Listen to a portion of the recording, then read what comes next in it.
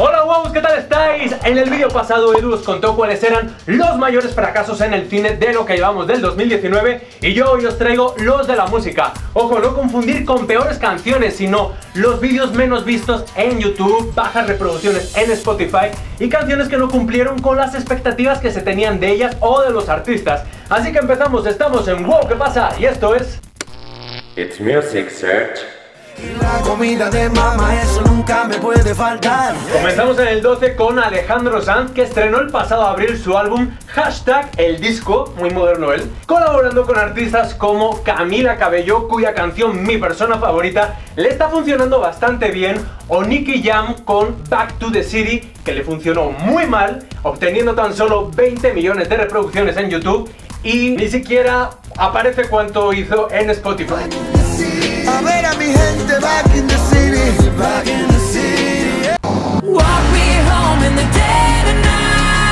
En abril también publicó Pink su nuevo álbum, siendo el que menos éxito ha tenido en los últimos años y quizás fue porque el tema de presentación Walk Me Home no terminó de pegar, logrando tan solo 50 millones en YouTube y 119 en Spotify, comparados con los 400 millones que hizo el tema de presentación de su anterior álbum hace casi dos años.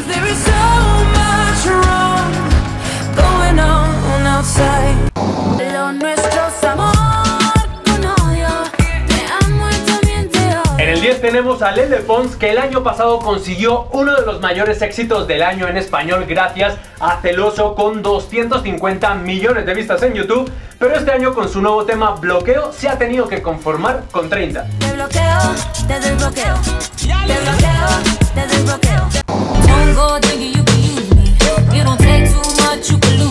Jennifer López logró reavivar su carrera el año pasado sacando temas en español como El Anillo o Dinero que le funcionaron bastante bien, pero este año ha vuelto a sacar un tema en inglés, Medicine, y el público le ha vuelto a dar la espalda logrando 23 millones en YouTube y 9 millones de escuchas en Spotify.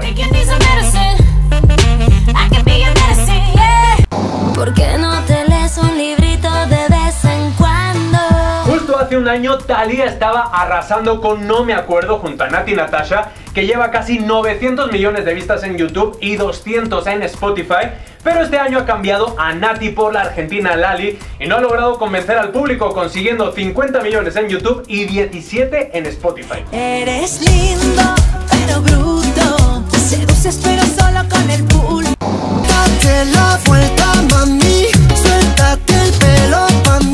Fonsi tiene un récord insuperable en YouTube gracias a los más de 6 mil millones de reproducciones de Despacito.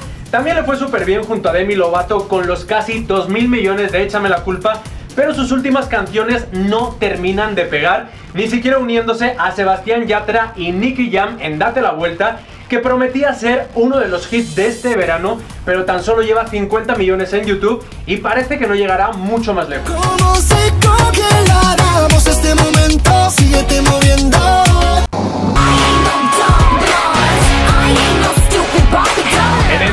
El esperado regreso de Avril Lavigne publicando su nuevo álbum 6 años después del anterior, pero no consiguió hacer mucho ruido con el primer single, mucho menos con el segundo que pasó completamente desapercibido y el tercero, Dem Blonde, prometía ser el exitazo que salvara el disco muy al estilo de su mayor éxito Girlfriend y con la colaboración de Nicki Minaj, pero tuvo tan fría acogida que no se le hizo videoclip y se canceló toda la promoción.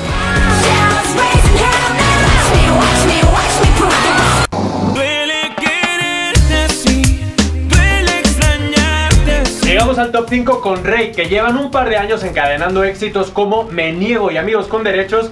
Este año han querido repetir la misma fórmula con el tema Duele junto a Wisin y Yandel, pero la jugada no les ha salido nada bien y en lugar de los cientos de millones que hicieron los anteriores temas, este ha logrado unos pobres 32 millones en YouTube y 20 en Spotify.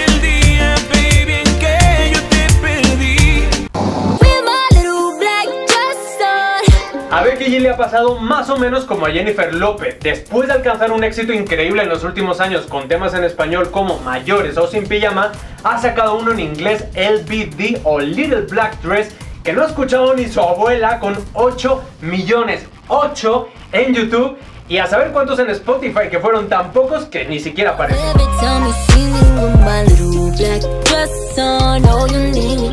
Estamos a punto de conocer los tres mayores fracasos de lo que llevamos del año, pero antes hacemos una pausa para que me regaléis un super like si os está gustando el vídeo, suscribiros a Wow que pasa y al final no olvidéis dejarme en los comentarios cuál de estos fracasos se lo merecía más y cuál menos. Con la mirada congelada y ausente. El puesto 3 es muy merecido para Paulina Rubio que lleva varios años sin conseguir un solo éxito y lo de su nuevo tema Ya no me engañas directamente es un insulto a su carrera con 2 millones de vistas en YouTube y en Spotify mejor ni os lo digo. Sabes mi vida, que el tiempo ya no soy ninguna niña.